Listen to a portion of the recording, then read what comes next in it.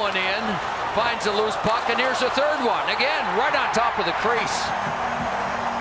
And then the hats came raining down, and oh, good thing it wasn't a hard hat.